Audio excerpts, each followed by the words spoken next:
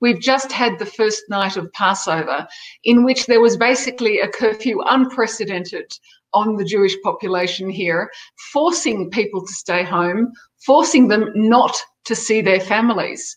Uh, and Israel's uh, Prime Minister said this was a safety measure, that Israel had learnt its lesson from the previous Jewish festival when they hadn't really enforced it. They'd allowed all these parties to go ahead, and there was a huge spike in the number of infections. So he said this time nobody is going to see, nobody's going out, and you actually literally couldn't leave the house. And that was the only way they could think because it's so, Passover is such a family festival and so it was that everybody was celebrating the Festival of Freedom locked into their houses.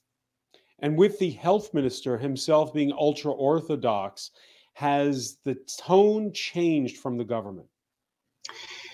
It's quite interesting with the ultra orthodox health minister because there is there have been accusations that he didn't really follow the instructions of his own um, department that he did he took steps that were against the restrictions and then he himself uh, became infected with the coronavirus and he as a result the, the restrictions here are pretty strict.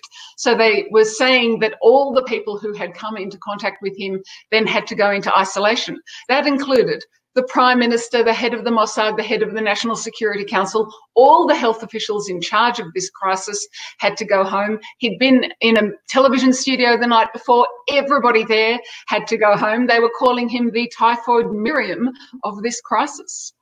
Your reaction, Christopher Dickey? Well, I think we've seen this again and again where people, whether for religious or political motives, decide that they're not going to listen to the social distancing regulations. They're even going to mock them. I mean, the classic case is Boris Johnson, who's still in mm-hmm. hospital now after going around in a in a coronavirus ward and shaking hands with everybody and bragging about, about it.